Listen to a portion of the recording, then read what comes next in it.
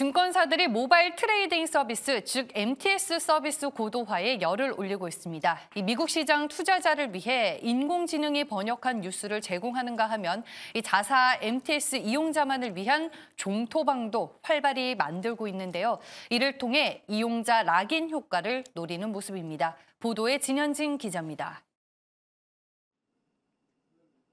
지난 8일부터 14일까지 한 주간 증권사 MTS 안드로이드 사용자 수 1위와 2위의 점유율 차이는 0.8%포인트가량. MTS 시장 점유율이 각축전 양상을 보이면서 증권사들은 서비스 고도화에 공을 들이고 있습니다. KB증권은 최근 MTS 내 뉴스 서비스를 강화했습니다.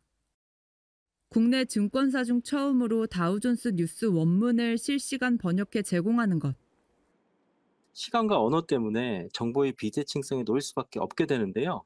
예, 이번에 KB증권에서는 다우존스 뉴스, 월스트리트 저널, 바론스, 마켓워치 이렇게 네 가지의 뉴스 채널을 확대했습니다. 다양한 시각과 다양한 의견을 꼭 참조하시기를. KB증권은 초보 투자자용 MTS에서 생성형 AI 기반 투자 정보 제공 서비스도 테스트 중입니다. NH투자증권은 MTS 내 커뮤니티를 오픈했습니다. 종목 토론방을 운영해 이용자들의 주식 보유 정보 등을 제공하고 활발한 투자 의견 공유를 꾀한다는 방침입니다. 업계 처음으로 국내 대형 자산 운용사들의 공식 채널을 통해 자산 운용사들과 소통도 가능하게 했습니다. IBK 투자증권도 MTS 개편을 예고했습니다.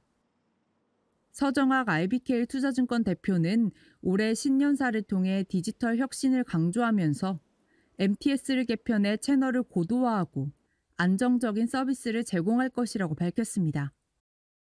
리서치 품질 향상을 위해 생성형 AI도 도입한다는 계획입니다. 증권사들이 MTS 고도화에 공을 들이는 건 편의성을 높여 이용자를 애플리케이션 내에 잡아두기 위함입니다. 또한 마이데이터가 확대되면서 다른 금융상품으로의 확장을 기대할 수 있다는 분석도 나옵니다.